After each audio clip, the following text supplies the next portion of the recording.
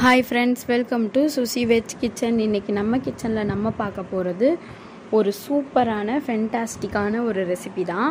So இது பார்த்திங்க அப்படின்னா ரொம்பவே ஹெல்த்தும் கூட. ஸோ இப்போ வாங்க இதுக்கு என்ன பொருள் எவ்வளோ தேவை என்ன எப்படி செய்யலாம் என்னன்னு பார்க்கலாம்.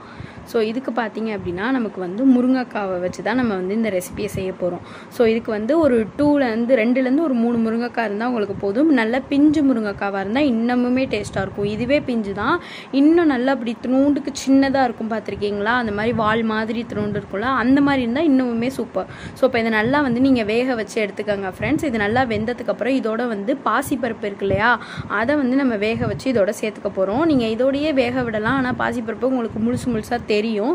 ஸோ நீங்கள் தனியாக குக்கரில் வேக வச்சு இந்த பாசிப்பருப்பை சேர்த்துக்கோங்க. ஸோ அந்த மாதிரி நான் ஒரு கிண்ணம் அளவுக்கு பாசிப்பருப்பு வேக வச்சு எடுத்துக்கிட்டேன். ஸோ ரொம்பவே வயிற்று புண்ணெல்லாம் ஆற்றும் பாசிப்பருப்பு இந்த வெயில் காலத்துக்கு. ஸோ அதை யூஸ் பண்ணுங்கள் அதுக்கப்புறம் பார்த்தீங்க அப்படின்னா தேங்காய் ஒரு அரை மூடி எடுத்துக்கோங்க. அதுக்கப்புறம் வரமிளகா ஒரு உரப்புக்கு தகுந்தாப்புல நீங்கள் வச்சுக்கலாம். மிளகு ஜீரகம். ஸோ இதை வந்து எல்லாத்தையுமே வந்து நல்லா மிக்சியில் கொஞ்சம் தண்ணி விட்டு அடித்து எடுத்துக்கோங்க ஃப்ரெண்ட்ஸ் மிளகும் ஜீரகமும் உங்களுக்கு தேவையான அந்த ஃப்ளேவருக்கு தகுந்தாப்புல வச்சுக்கோங்க. மிளகா உங்களோட காரத்துக்கு தகுந்தாப்புல. நல்லா வந்து ஒரு அரை மூடி தேங்காய் அந்த மாதிரி நைஸ் பேஸ்ட்டாக அரைச்சி எடுத்துக்கோங்க. ஸோ இப்போ இதை வந்து இந்த பாசிப்பருப்பும் முருங்கைக்காய் வேக வச்சிருந்தோம் இல்லையா? அதோட இதை வந்து மிக்ஸ் பண்ணிக்கலாம். ஸோ மிக்ஸ் பண்ணிவிட்டு நீங்கள் நல்லா வந்து இதோட சேர்த்து ஒரு அஞ்சு நிமிஷம் அளவுக்கு கொதிக்க விட்டீங்க அப்படின்னா ஒரு சுவையான ஃபென்டாஸ்டிங்கான ஒரு முருங்கைக்காய் கூட்டு ரெசிபி ரெடி ஆகிடும் ஃப்ரெண்ட்ஸ் இது ரொம்பவே சூப்பராக இருக்கும். நீங்கள் வந்து இதை டிஃபனுக்கும் சைட் டிஷ்ஷாக வச்சு சாப்பிட்டீங்கனாலும் ரொம்ப ஃபென்டாஸ்டிக்காக இருக்கும்.